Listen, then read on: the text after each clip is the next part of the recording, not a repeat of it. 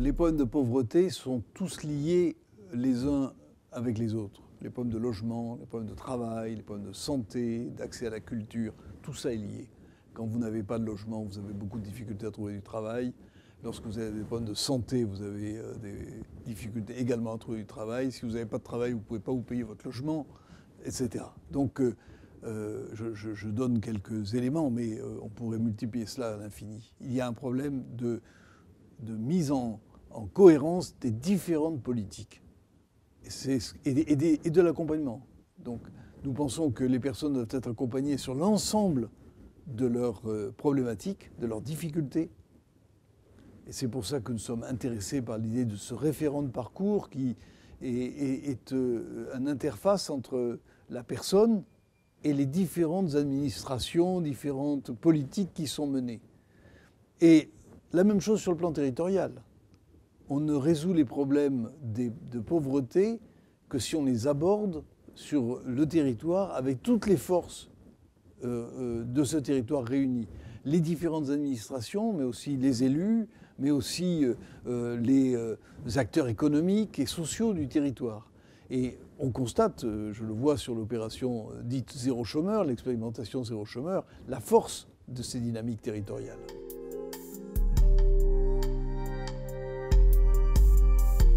Le premier élément que je peux indiquer, c'est que nous sommes partie prenante de la politique du logement d'abord, qui consiste à privilégier le logement euh, euh, face à toutes les autres formes d'hébergement. Bien sûr, l'hébergement est essentiel et on ne peut pas se passer de l'hébergement actuellement. Mais l'hébergement, c'est quelque chose qui doit être provisoire. Ça ne doit pas être, une situation dans laquelle les gens restent ad vitam aeternam. Et le seul débouché possible pour l'hébergement, c'est le logement. Mais pour cela, il faut qu'il y ait des logements. Il faut qu'il y ait des logements, il faut qu'il y ait des logements accessibles aux personnes à très bas revenus.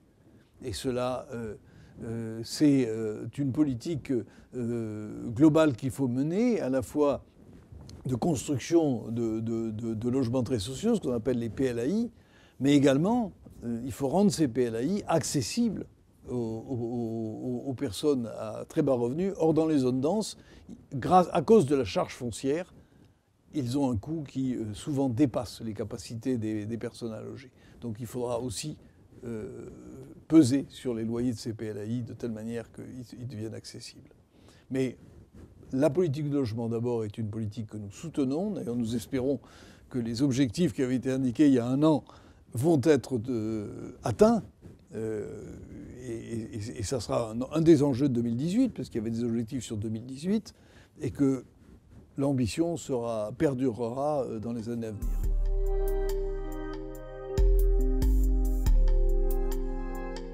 Je pense qu'on a la conviction profonde qu'on ne peut pas mettre les personnes, les très pauvres, en, mouvement vers la sortie de la pauvreté, vers la sortie de l'exclusion, sans elles.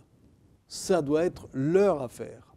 Et pour que ça soit leur affaire, il faut qu'ils soient partie prenante de la décision, de la préparation de la décision, de la décision et de la mise en œuvre de la décision. Donc euh, la participation des personnes accompagnées est pour nous absolument essentielle.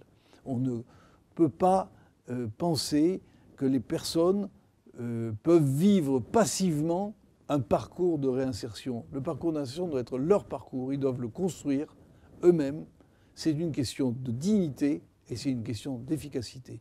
Donc euh, nous encourageons toutes les structures à euh, aller dans ce sens. On peut même aller plus loin. On peut aller vers le travail pair, c'est-à-dire euh, que les personnes accompagnées elles-mêmes aident d'autres personnes accompagnées à progresser. Et je, crois que c'est une voie qui est extrêmement féconde et sur laquelle nous sommes en train de nous engager.